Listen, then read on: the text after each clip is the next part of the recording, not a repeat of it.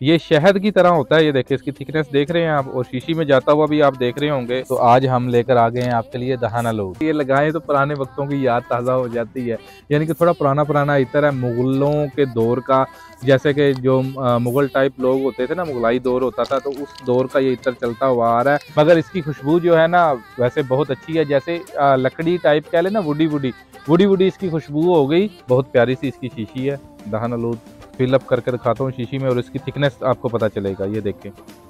ये शहद की तरह होता है, ये देखिए, इसकी थिकनेस देख रहे हैं आप और शीशी में जाता हुआ भी आप देख रहे होंगे, अगर मेरा कैमरा मैन भाई शीशी का क्लोज ले तो जैसे कि शहद नहीं डाल रहे होते किसी चीज़ में तो ऐसे इसकी जो है ना,